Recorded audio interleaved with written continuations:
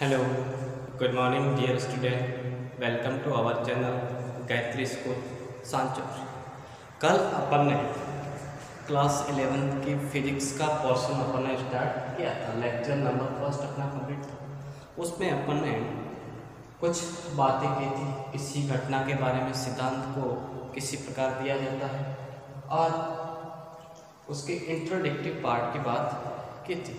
भौतिक जगत क्या है इनकी कितनी शाखा है, इसके बारे में बात करेंगे आज अपन जिस बात, जिस टॉपिक पे बात करेंगे, वो है होगा हमारे पास में चार टॉपिक पहला रहेगा भौतिक भौतिकी के विज्ञान की अन्य शाखाओं के साथ में क्या संबंध है? भौतिकी का कार्य क्षेत्र क्या है? और भौतिकी है, वो टेक्नोलॉजी और अपनी सोसाइटी को किस प्रकार आसान फिर अपन को लास्ट पढ़ेंगे प्रकृति के मूल पर फंडामेंटल फोर्सेस के बारे में।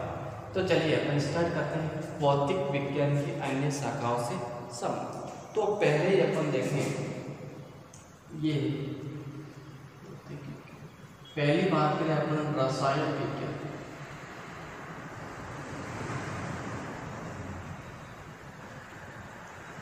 रसायन विज्ञान के अंदर जितने भी परमाणु एवं अणुओं की संरचना जानने के लिए भौतिक विज्ञान की आवश्यकता पड़ती है। आप जानते हैं जो एक्सरे विवर्तन के थ्रू एक्सरे विवर्तन के थ्रू अपने पास जो टेबल है, रसायन विज्ञान की टेबल है, उसको परमाणु क्रमांक के आधार पर व्यवस्थित करने में इसका बड़ा योगदान है। अर्थात रसायन विज्ञान में भी भौतिकी का इस्तेमाल होता है। अर्थात रसायन विज्ञान के लिए भी भौतिकी आवश्यक फिर देखिए बात करें अपन जीव विज्ञान। जीव विज्ञान के अंदर अपन बात करते हैं, जितने भी अपने प्रकृति के अंदर विद्यमान जीवों और पादपों के बारे में, सजीवों के बारे में। बात करें अपन प्रकाशिक सूक्ष्मदर्शी सूक्ष्म जीवों को देखने के लिए।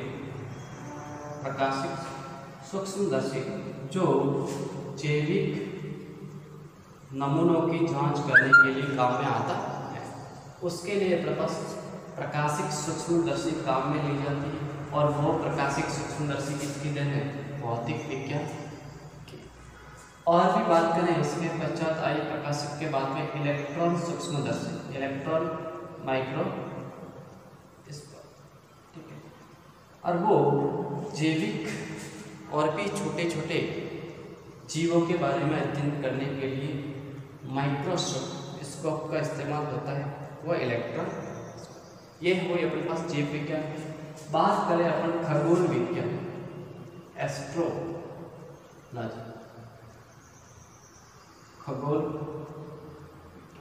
खगोल विज्ञान के अंदर अपन नचित करते हैं अपने पृथ्वी से या ब्रह्मांड के अंदर जितने भी पिंड विद्यमान है, उसके बारे में तारों एवं पिंडों का अध्ययन किया जाता है, वो खगोल। अब पृथ्वी पर खड़े व्यक्ति को अगर वो पिंडों को सही तरह से देखना है तो उसको दूरदर्शी की आवश्यकता होती है। ठीक है? तो प्रकाशित दूरदर्शी का इस्तेमाल होता है। दूर स्थित पिंडों एवं ग्रहों का अध्ययन करने फिर एक और आई है रेडियो दूरदर्शी रेडियो? उसको भी अपन बारीकी से उस पिंडों के बारे में ओवरव्यू बाहर का व्यू अपन देख सकते हैं। उसकी संरचना कैसी वो कितना दूर है, उसके बारे में अपन अध्ययन कर सकते हैं। तो अपन ने देखा कौन सा? भौतिक विज्ञान, रसायन विज्ञान के साथ में।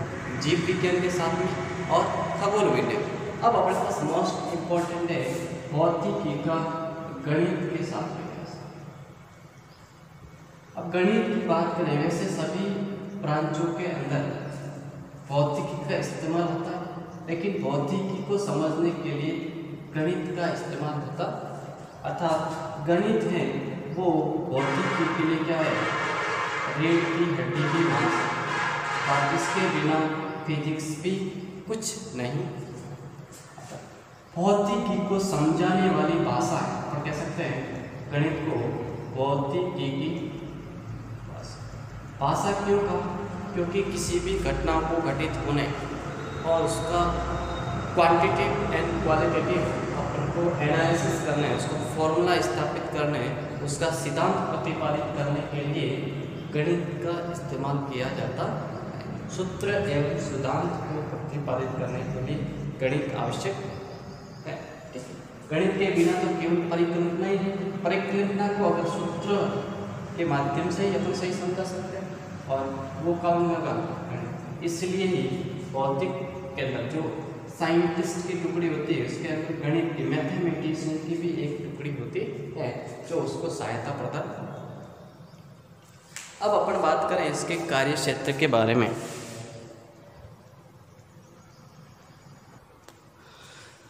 इसका कार्य क्षेत्र क्या है? बात करें भौतिक का कार्य क्षेत्र बहुत बड़ा है। बहुत ही विस्तृत कार्य क्षेत्र विस्तृत कार्य क्षेत्र क्यों कह सकते हैं? क्योंकि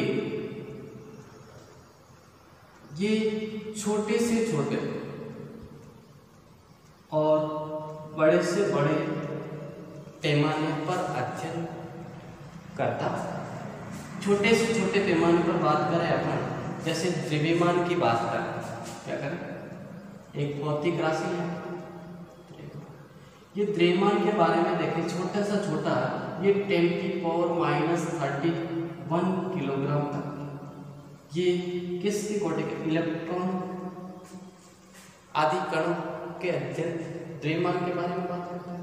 अर्थात इसका कार्य क्षेत्र इतना माइक्रो लेवल पे भी है और इतना बड़ा है कि वो जैसे पृथ्वी का द्रव्यमान टेन की पावर फिफ्टी अच्छा सपोज़ करें, इतने कोटि का होगा। इतने बड़े द्रव्यमान के बारे में भी अध्ययन करता। ये जो दूरिया में देखें, दूरी देखें, ये नाभिक के आकार टेन की पावर माइनस फाइव मीटर तक का भी अध्ययन करता है। और ये टेन की पावर लगभग अपने पास थर्टी एंड फोर्टी मीटर तक का भी अध्ययन अर्थात ये जो भौतिकी है, उसका माइक्रोस्कोपिक या माइक्रो लेवल पे भी अध्ययन किया जाता है भौतिकी और बहुत बड़े लेवल पे भी अध्ययन किया जाता है। छोटी वस्तुओं के बारे में भी अध्ययन किया जा सकता है, और बड़ी वस्तुओं के बारे में। जो चीज़ें अपन को दिखाई नहीं देती हैं, उनके बारे में भी अध्ययन किया जाता है। ठीक है, ये अपने पास होगी इसका कार्य क्षेत्र समय की बात करें, समय में भी अपन टेन की पावर माइनस ट्वेंटी सेवन से लगभग टेन की पावर थर्टी सेकेंड्स तक की भी अपन रेंज की बात करते हैं। अब देखिए अपन भौतिक विज्ञान में वो अपने पास टेक्नोलॉजी और अपने समाज को किस प्रकार प्रभावित करता है।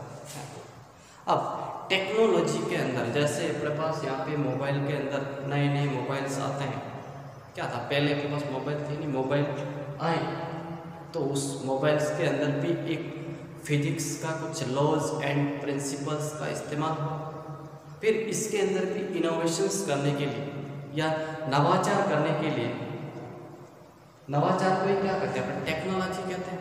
नवाचार लाने के लिए फिजिक्स के और भी चीज़ों के बारे में बात करते हैं। पहले जैसे मोबाइल्स के अंदर केवल बात करने के लिए थे, अब आसानी से अपन यहाँ घर बैठे पढ़ सकते हैं। तो ये क्या है? टेक्नोलॉजी इसमें भी कौन इस्तेमाल हो पूरी इलेक्ट्रॉनिक के इस्तेमाल हुई यहाँ से जो अपन बोल रहे हैं, उसको कैमरे के अंदर और ऑडियो रिकॉर्ड करके आपके तक पहुँचा देता है। ये भी क्या है?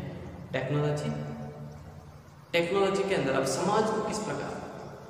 जो भौतिक विज्ञान है, वो अपने दैनिक जीवन, अर्थात अपने समाज के आसपास जितनी भी घटनाएँ घटित हो रही हैं, ये अपने जीवन को बहुत सरलतम तरीके से बनाने में बहुत ज़्यादा उपयोगी सपोज़ करें, अपन बात करें, जितने भी पहले व्यक्ति आने जाने के लिए बैलगाड़ी, क्या घोड़ा गाड़ी का इस्तेमाल करते थे?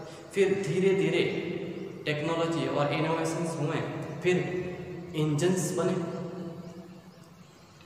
इंजन्स किस प्रकार बने? इंजन भी फिजिक्स के प्रिंसिपल उष्मा गतिकी के सिद्धांत पर बने। फिर देखिए अपने पास आगे, जितने भी जेट वायुयान हैं या हवाई जहाज़ उड़ते हैं वो किसके प्रिंसिपल न्यूटन की गति के सेकंड लॉ और थर्ड लॉ पे आधारित ठीक है? फिर बात करें अपन, जितने भी अपने पास ये प्रकाश की घटना है, उसको अध्ययन करने के लिए, ये जैसे अपने पास आँखें दिखाई नहीं देता ऑपरेशंस वगैरह है, ये भी किस लिए? इसमें भी अपने पास क्या होता है? फिजिक्स के प्रिंसिपल का इस्तेमाल होता है। दूसरा देखा जाए अपने पास चिकित्सा क्षेत्र के अंदर। चिकित्सा क्षेत्र में जितने भी उपकरण बनाए जाते हैं, वो प्रत्येक उपकरण फिजिक्स के प्रिंसिपल पर बनाए जाते हैं। बात करें चिकित्सा क्षेत्र में उपयोग की, जैसे एक्सरेज करना है, बॉडी के अंदर पार्ट्स को देखना है तो एक्सरे, एक्स किरणों का इस्तेमाल करता है अवरत किरणों का इस्तेमाल करता है। ठीक है, रेडियो समस्थानिक का उपयोग किया जाता है कैंसर के इलाज वो भी क्या है? भौतिकी का इस्तेमाल ठीक तो ये अपने पास बहुत, इसका समाज के साथ में बहुत बड़ा अब अपन बात करेंगे प्रकृति के अंदर मूल बल प्रकृति के अंदर कितने बल? प्रकृति के अंदर मूल देखें तो चार कितने? पहला बल है।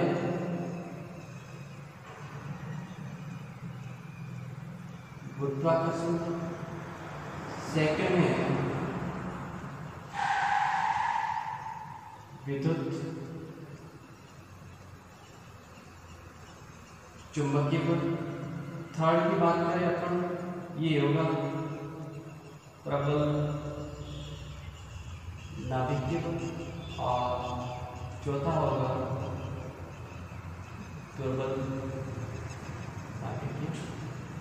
ये अपने पास प्रकृति के अंदर चार प्रकार के बल मूल रूप से विद्यमान होते हैं। और इन चारों बलों के बारे में वन बाई वन अपन अध्ययन करते हैं। पहली बात है अपन गुरुत्वाकर्षण की। गुरुत्वाकर्षण।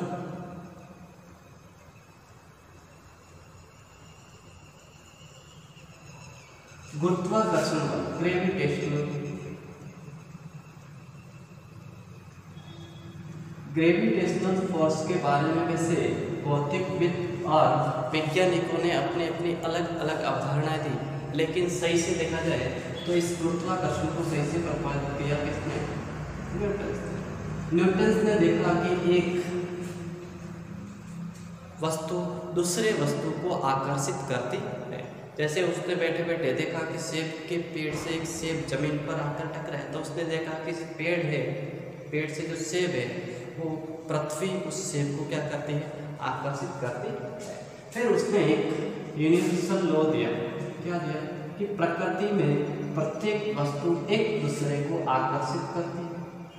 जैसे करें ये द्रेमन एम, दूसरा द्रेमन एम टू, ये कुछ दूरी पर स्थित है आर दूरी तो इसके बीच लगने वाला, ये प्रकृति से हमें कैसे आकर्षण। कैसी होगी?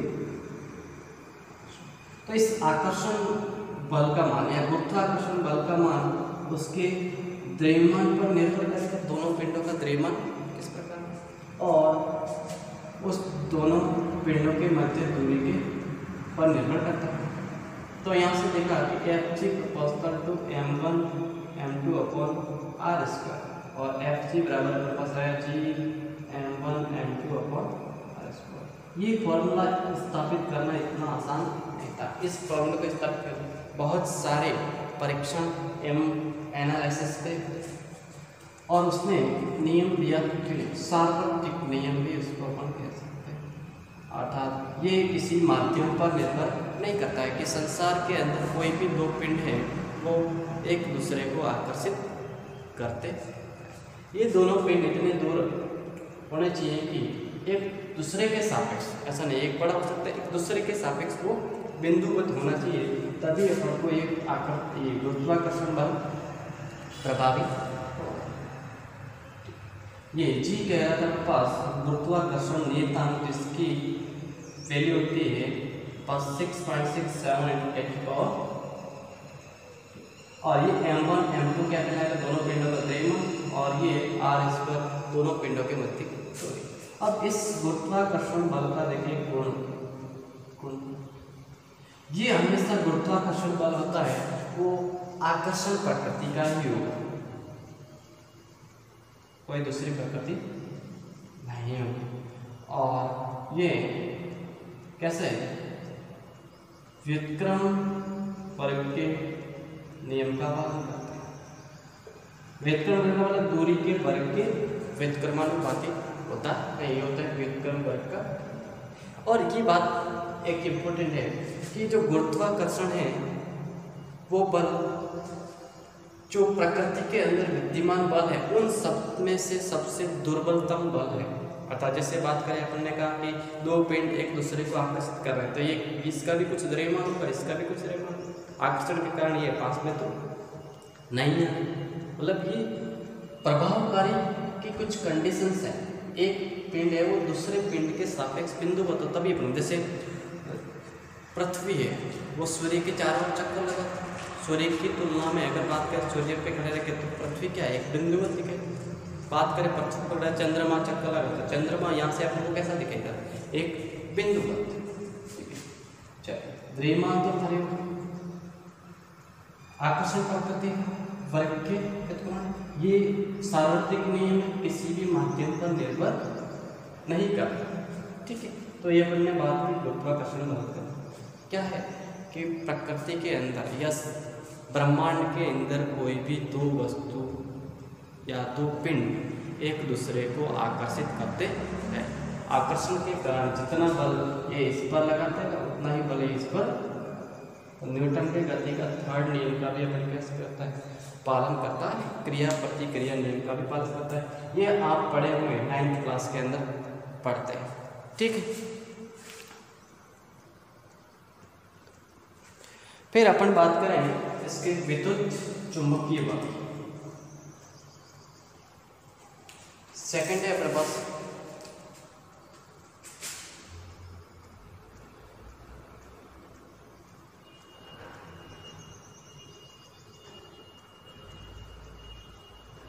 अपन इसको कहते हैं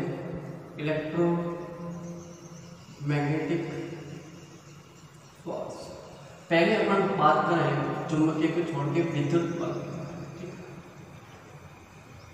विद्युत? विद्युत बल, ये वैसे देखा जाए तो दोनों किसमें आवेशित कणों के मध्य आवेश के बारे में आप जानते हैं, दो प्रकार के होते हैं, एक धनावेश दूसरा ऋण आवेश दोनों सजातीय आवेश आपस में प्रतिकर्षित होते हैं और विजातीय आवेश आकर्षित करते हैं। जैसे प्लस प्लस तो है तो क्या होगा? प्रतिकर्षण। अर्थात रिपल्स और एक माइनस दूसरा प्लस है तो क्या होगा? आकर्षण तो आवश्यक कणों के मध्य लगने वाला बल, क्या कहलाता है? विद्युत बल। जैसे पास यहाँ पे कोई आवेश है, मान लेते हैं क्यू दूसरा आवेश है क्यू ये डिस्टेंस आर पर स्थित है। तो इस दोनों के बीच लगने वाला आकर्षण या प्रतिकर्षण बल का मान, उस दोनों आवेशों के गुणनफल के समानुपाती होता है और दूरी के वर्ग के? एज सेम एज कैसा है? गुरुत्वाकर्षण को खोलो। ये डिपेंड करेगा आकर्षण है या उसके आवेश की प्रकृति पर। तो यहाँ से अपने पास एक कांस्टेंट है के क्यू वन क्यू टू पर तो ये अपने पास क्या होगा? विद्युत बल। अब विद्युत बल, ये हमेशा किसके लिए? स्थिर आवेश, कैसे हो? स्थिर आवेशों के मध्य लगने वाला बल को उसको कहते हैं स्थिर विद्युत बल अब स्थिर आवेश है तो उसके चारों ओर केवल विद्युत क्षेत्र ही उत्पन्न होता है। और अगर गतिशील आवेश एक समान रूप से कांस्टेंट वेलोसिटी से अगर कोई वस्तु गतिशील है तो उस गतिशील आवेश के चारों ओर विद्युत क्षेत्र के साथ साथ में चुंबकीय क्षेत्र भी उत्पन्न होता है। अपन टेंथ क्लास में देखा होगा, विद्युत धारा का चुंबकीय प्रभाव, कि परिपथ के अंदर धारा प्रवाहित करने पर उसके पास में रखी चुंबकीय सुई क्या होती थी? विक्षेपित इसका मतलब आवेश गतिशील है तो उसके पास में एक चुंबकीय क्षेत्र भी उत्पन्न होता है। ठीक तो गतिशील आवेश की कंडीशन में कौन सा होगा विद्युत चुंबकीय अब इसकी बात करें गुणधर्म की। गुणधर्म में कैसे? पहला तो यह होगा, ये आकर्षण। व प्रतिकर्षण। दोनों प्रकार का हो सकता है। डिपेंड करेगा उसके ठीक ये यूनिवर्सल लॉ नहीं है, सार्वत्रिक नियम नहीं है, क्योंकि ये जो बल का मान है, वो आवेश को रखने वाले माध्यम पर निर्भर करता है। तो अपन कह सकते हैं माध्यम पर निर्भर करता। ये भी दूरी के या वर्ग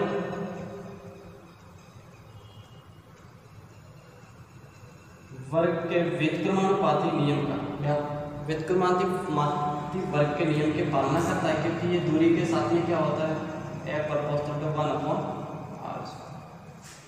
या फिर अपने इसको कहते हैं व्युत्क्रम वर्ग का नियम व्युत्क्रम वर्ग का इसकी पालना माध्यम पर निर्भर कर। तो ये अपने पास। और इस चुंबकीय बल पर आधारित तो बहुत सारी युक्तियों का निर्माण किया जाता है, जो टेक्नोलॉजी के अंदर इस्तेमाल किया जाता है। ठीक है तो ये अपने पास हो गया कौन सा बल? प्रबल नाभिकीय बल। ठीक है। अब अपने पास प्रबल नाभिक सॉरी विद्युत चुंबकीय अब बात करें प्रबल नाभिकीय बल का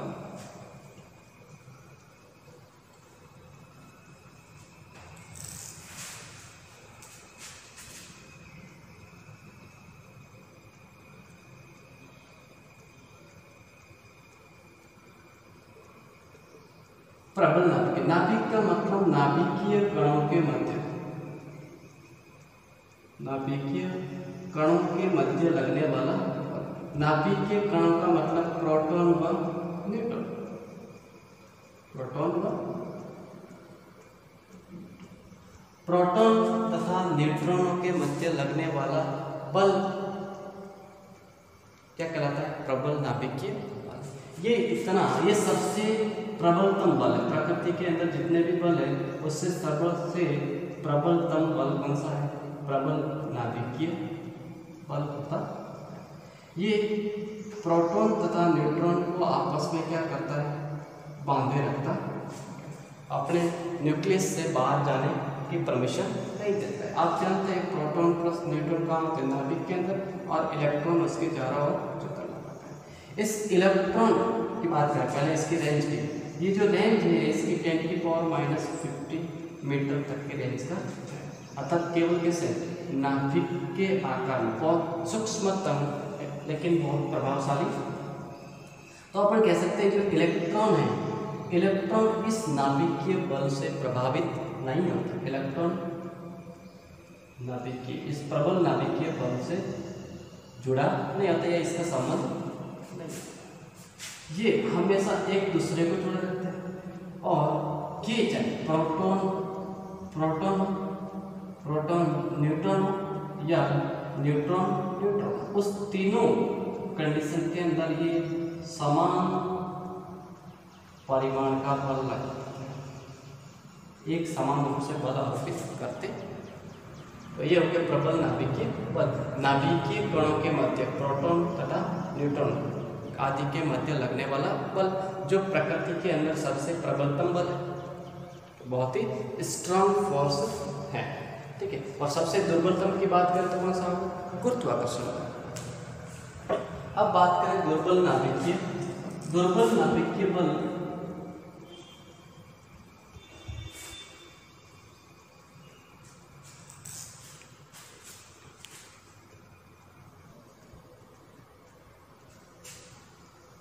अब देखें।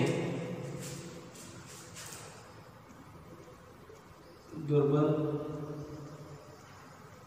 नाभिकीय दुर्बल नाभिकीय बल अपन को दिखाई देता है नाभिकीय अभिक्रियाओं के अंदर। नाभिकीय। नाभिकीय अभिक्रियाओं के अंदर जब कोई कण शहीद होता है यहाँ से वहाँ से विघटित होता है, उस कंडीशन में जैसे बीटा क्षय होता है। बीटा क्षय के अंदर क्या होता है? एक इलेक्ट्रॉन प्लस एक ये इलेक्ट्रॉन होता है और उसके साथ में एक अनावेशित कण न्यूट्रिनो रिलीज़ होता। उस कंडीशन के अंदर जो बल लगता है आपस में शहीद कणों के मध्य, वो कहलाता है दुर्बल नाभिकीय बल। ये इतना भी दुर्बल नहीं होता है जितना गुरुत्वाकर्षण बल होता है। गुरुत्वाकर्षण बल से तो थोड़ा प्रबल होता है।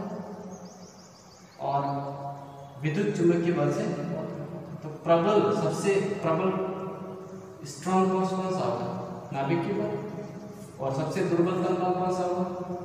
गुरुत्वाकर्षण। फिर अपने पास कौन सा विद्युत चुंबकीय बल और फिर दुर्बल तो पहला स्ट्रॉन्ग कौन सा आएगा? ये। दूसरा फिर कौन सा होगा? ये। थर्ड एंड फोर्थ अगर बात करें स्ट्रॉन्ग भी कर वन फिर ये वन फिर टू थ्री एंड फोर तो ये भी पूछा जाता है प्रकृति के अंदर सर्वाधिक दुर्बलतम बल कौन सा है? गुरुत्वाकर्षण बल। और सबसे प्रबलतम बल प्रबल नाभिकीय बल होता है। ये प्रबल नाभिकीय बल है, वो नाभिक के स्थायित्व के लिए उत्तरदायी होता है। ध्यान रहे। ठीक है, और ये जो एंट्री फोर्टी होती है, वो टेन की पावर माइनस सिक्सटीन मीटर की दुर्बल नाभिकीय बल की होती है। तो इलेक्ट्रॉन होगा, वो इसके चारों ओर एक दुर्बल नाभिकीय बल के द्वारा बंधे होते हैं, जिस, जिसके लिए अपन आसानी से इसको बाहर हैं